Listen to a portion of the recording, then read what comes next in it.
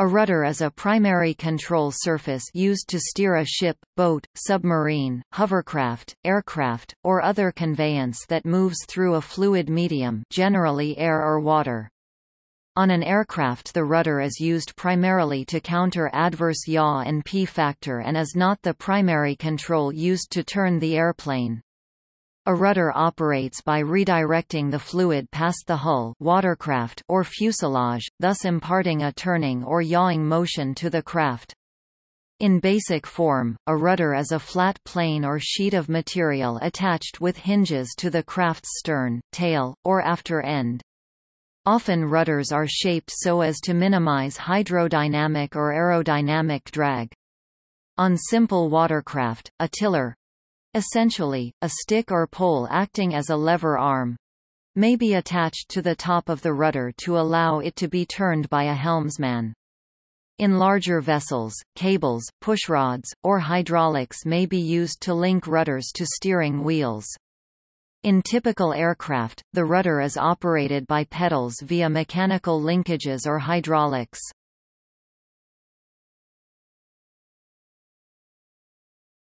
Topic: History of the rudder Generally, a rudder is part of the steering apparatus of a boat or ship that is fastened outside the hull. That is denoting all different types of oars, paddles, and rudders. More specifically, the steering gear of ancient vessels can be classified into side rudders and stern-mounted rudders, depending on their location on the ship. A third term, steering oar, can denote both types. In a Mediterranean context, side rudders are more specifically called quarter rudders as the later term designates more exactly the place where the rudder was mounted. Stern-mounted rudders are uniformly suspended at the back of the ship in a central position, although some classify a steering oar as a rudder, others argue that the steering oar used in ancient Egypt and Rome was not a true rudder and define only the stern-mounted rudder used in ancient Han China as a true rudder. The steering oar has the capacity to interfere with handling of the sails limiting any potential for long ocean-going voyages while it was fit more for small vessels on narrow, rapid water transport, the rudder did not disturb the handling of the sails, took less energy to operate by its helmsman, was better fit for larger vessels on ocean-going travel, and first appeared in ancient China during the 1st century AD.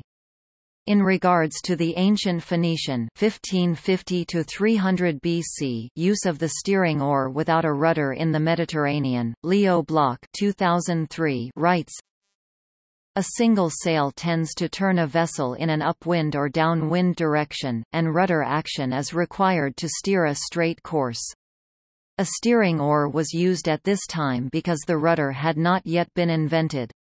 With a single sail, a frequent movement of the steering oar was required to steer a straight course. This slowed down the vessel because a steering oar or rudder course correction acts like a brake.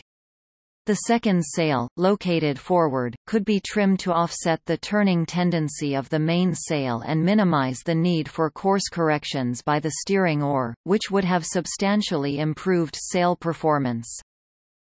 The steering oar or steering board is an oversized oar or board to control the direction of a ship or other watercraft prior to the invention of the rudder.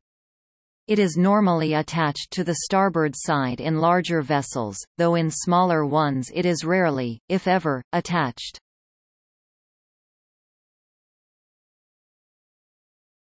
Topic: Steering oar gear.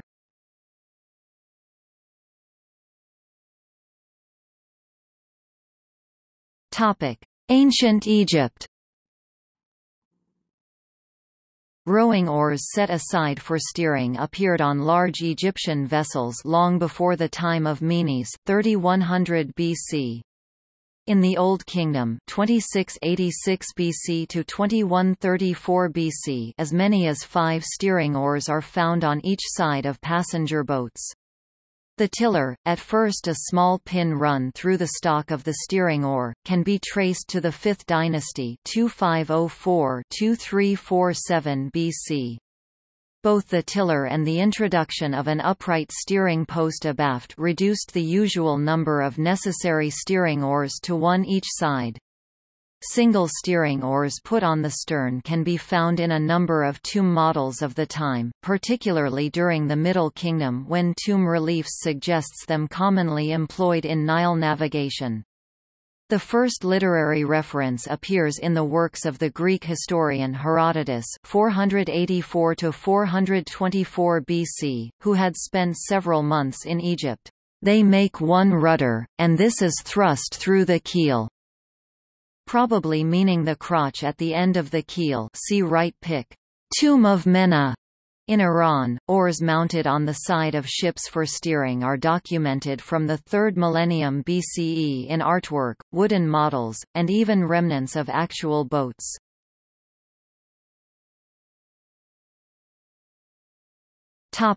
Ancient Rome Roman navigation used sexily quarter steering oars that went in the Mediterranean through a long period of constant refinement and improvement, so that by Roman times ancient vessels reached extraordinary sizes. The strength of the steering oar lay in its combination of effectiveness, adaptability and simpleness. Roman quarter steering oar mounting systems survived mostly intact through the medieval period. By the first half of the 1st century AD, steering gear mounted on the stern were also quite common in Roman river and harbour craft as proved from reliefs and archaeological finds Zwammerdam, Woerden 7.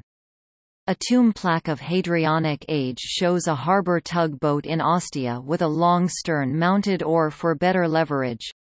The boat already featured a spritsail, adding to the mobility of the harbour vessel.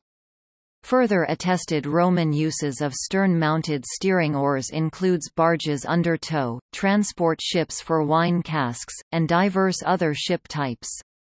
Also, the well-known Zwammerdam find, a large river barge at the mouth of the Rhine, featured a large steering gear mounted on the stern. According to new research, the advanced Nemi ships, the palace barges of Emperor Caligula 37 to 41 AD, may have featured 14 meters long rudders.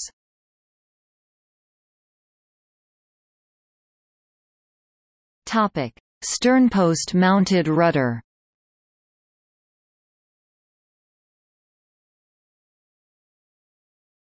Topic: China The world's oldest known depiction of a sternpost-mounted rudder can be seen on a pottery model of a Chinese junk dating from the 1st century AD during the Han Dynasty, predating their appearance in the West by a thousand years.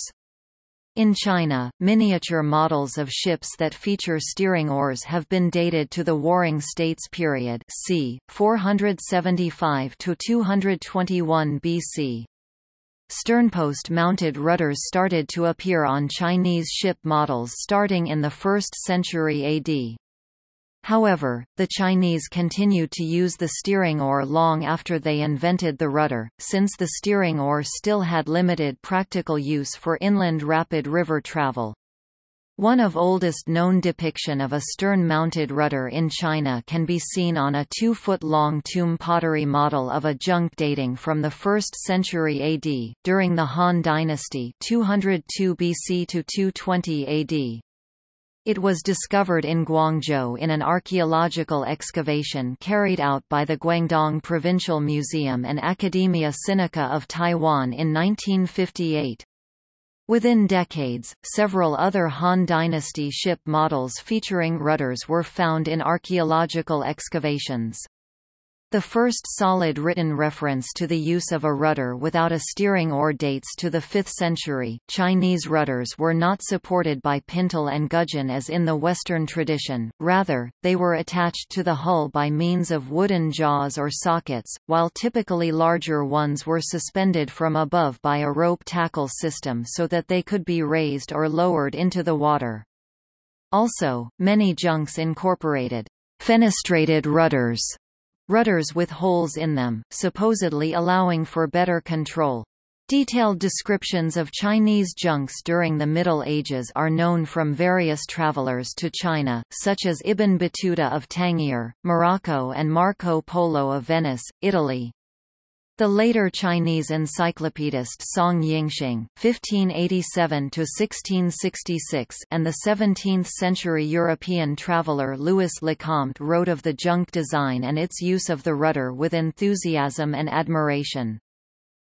Paul Johnston and Sean McGrail state that the Chinese invented the median, vertical and axial sternpost-mounted rudder, and that such a kind of rudder preceded the pintle and gudgeon rudder found in the West by roughly a millennium.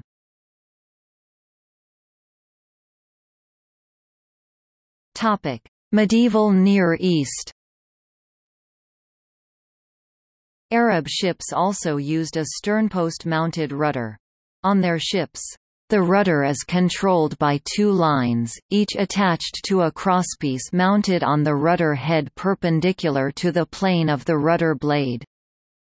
The earliest evidence comes from the Ahsan al-Taqasim fi Marifat al-Aqalim the best divisions for the classification of regions written by al-Muqaddasi in 985, the captain from the crow's nest carefully observes the sea.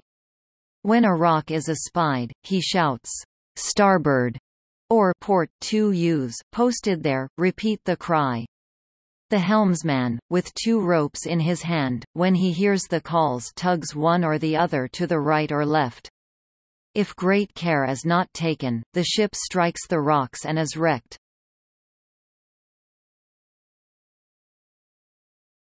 Topic: Medieval Europe. Oars mounted on the side of ships evolved into quarter steering oars, which were used from antiquity until the end of the Middle Ages in Europe. As the size of ships and the height of the freeboards increased, quarter steering oars became unwieldy and were replaced by the more sturdy rudders with pintle and gudgeon attachment. While steering oars were found in Europe on a wide range of vessels since Roman times, including light war galleys in Mediterranean, the oldest known depiction of a pintle and gudgeon rudder can be found on church carvings of Zedelgem and Winchester dating to around 1180. While earlier rudders were mounted on the stern by the way of rudder posts or tackles, the iron hinges allowed for the first time to attach the rudder to the entire length of the sternpost in a really permanent fashion. However, its full potential could only to be realized after the introduction of the vertical sternpost and the full-rigged ship in the 14th century. From the Age of Discovery onwards, European ships with pintle and gudgeon rudders sailed successfully on all seven seas. Many historians' consensus considered the technology of stern-mounted rudder in Europe and Islamic world, which was introduced by travelers in the Middle Ages, was transferred from China. However, Lawrence Mott in his master thesis stated that the method of attachment for rudders in the Chinese and European worlds differed from each other, leading him to doubt the spread of the Chinese system of attachment. Modern rudders Conventional rudders have been essentially unchanged since Isambard Kingdom Brunel introduced the balanced rudder on the SS Great Britain in 1843 and the steering engine in the SS Great Eastern in 1866. If a vessel requires extra maneuverability at low speeds, the rudder may be supplemented by a maneuvering thruster in the bow, or be replaced entirely by azimuth thrusters.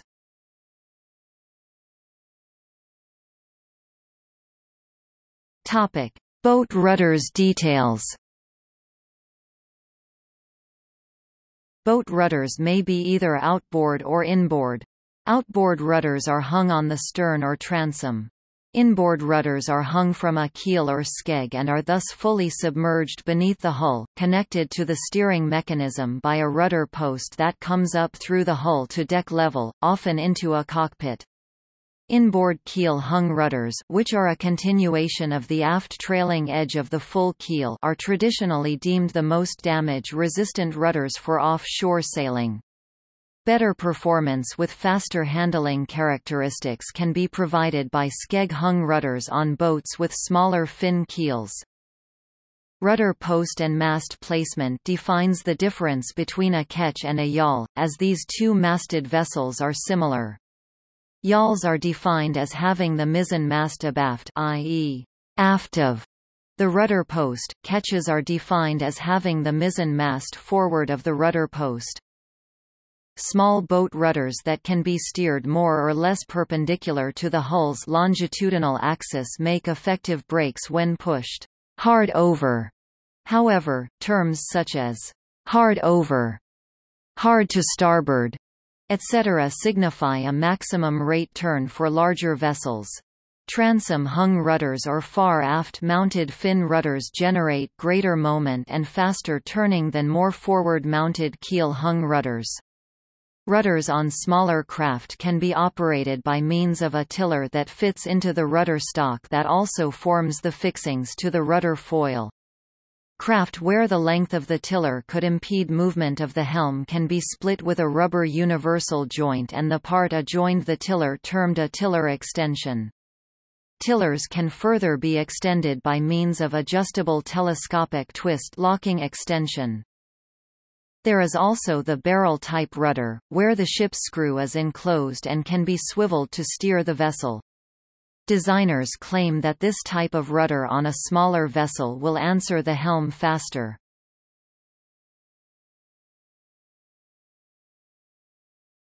Topic: Aircraft rudders. On an aircraft, the rudder is a directional control surface along with the rudder-like elevator usually attached to the horizontal tail structure, if not a slab elevator and ailerons attached to the wings that control pitch and roll, respectively. The rudder is usually attached to the fin or vertical stabilizer, which allows the pilot to control yaw about the vertical axis, i.e., change the horizontal direction in which the nose is pointing.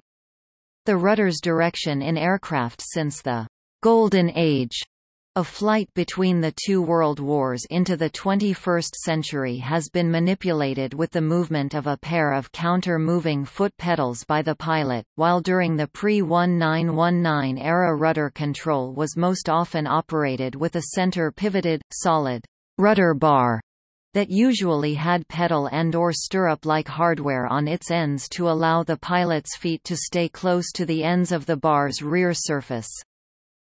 In practice, both aileron and rudder control input are used together to turn an aircraft, with the ailerons imparting roll and the rudder imparting yaw and also compensating for a phenomenon called adverse yaw. A rudder alone will turn a conventional fixed-wing aircraft, but much more slowly than if ailerons are also used in conjunction. Use of rudder and ailerons together produces coordinated turns, in which the longitudinal axis of the aircraft is in line with the arc of the turn, neither slipping under-ruddered, nor skidding over-ruddered. Improperly ruddered incoordinated turns at low speed can precipitate a spin that can be dangerous at low altitudes. Sometimes pilots may intentionally operate the rudder and ailerons in opposite directions in a maneuver called a slip.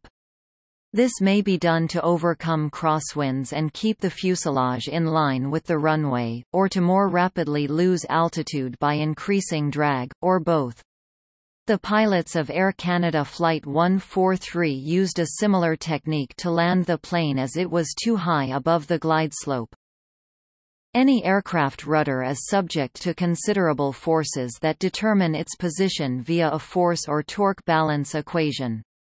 In extreme cases these forces can lead to loss of rudder control or even destruction of the rudder, as on American Airlines Flight 587 the same principles also apply to water vessels, of course, but it is more important for aircraft because they have lower engineering margins. Maximum rudder deflection is controlled by a rudder travel limiter. The largest achievable angle of a rudder in flight is called its blowdown limit. It is achieved when the force from the air or blowdown equals the maximum available hydraulic pressure. In multi-engined aircraft where the engines are positioned off the center line, the rudder may be used to compensate for the yaw effect of asymmetric thrust, which can occur if the engines are not producing an equal amount of power or in the event of engine failure. Further, on large jet airliners, the rudder is mainly used to align the aircraft with the runway during crosswind landing and takeoff. For taxiing and during the beginning of the takeoff, aircraft are steered by a combination of rudder input as well as turning the nosewheel or tailwheel. At slow speeds the nosewheel or tailwheel has the most control authority, but as the speed increases the aerodynamic effects of the rudder increases, thereby making the rudder more and more important for yaw control. In some aircraft mainly small aircraft, both of these mechanisms are controlled by the rudder pedals so there is no difference to the pilot.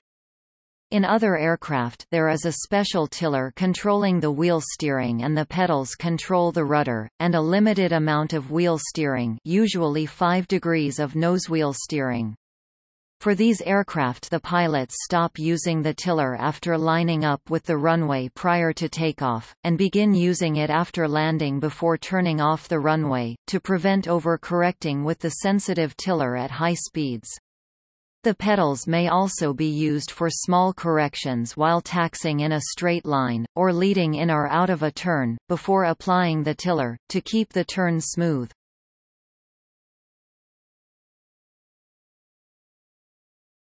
Topic: Trim tab.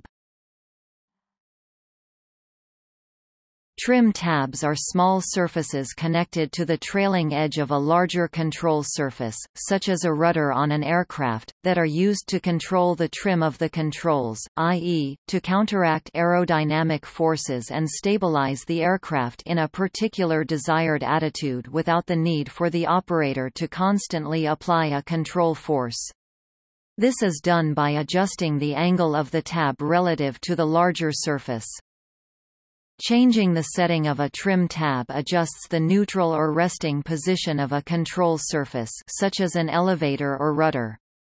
As the desired position of a control surface changes corresponding mainly to different speeds, an adjustable trim tab will allow the operator to reduce the manual force required to maintain that position to zero, if used correctly. Thus the trim tab acts as a servo tab.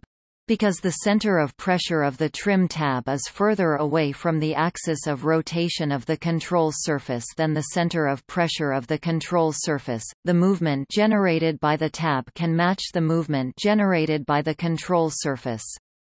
The position of the control surface on its axis will change until the torque from the control surface and the trim surface balance each other.